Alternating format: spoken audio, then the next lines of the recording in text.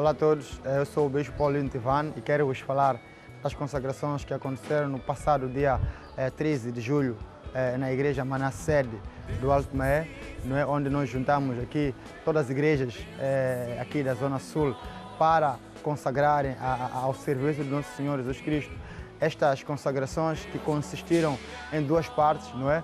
Onde a primeira parte foi a parte jurídica, onde esses novos diáconos novos presbíteros assinaram, eh, neste caso, eh, o, seu, o seu termo de compromisso com a igreja, eh, claro, com Deus também.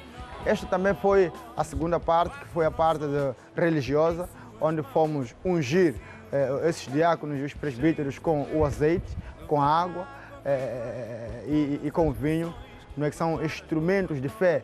A seguir, colocaram, claro, a sua estola no, no, no, no ombro é, de, de, cada diácono, de cada presbítero e impuseram as mãos.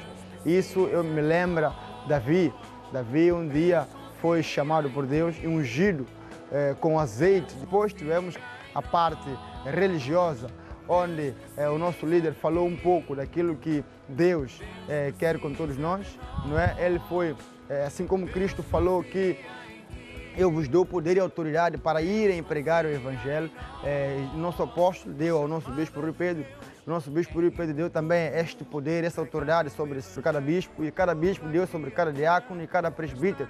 E meus amigos, foram usados aqui três símbolos: a água, o vinho é, e o azeite, que simbolizam a unção de Deus, simbolizam o sangue do Cordeiro, que simbolizam a vida.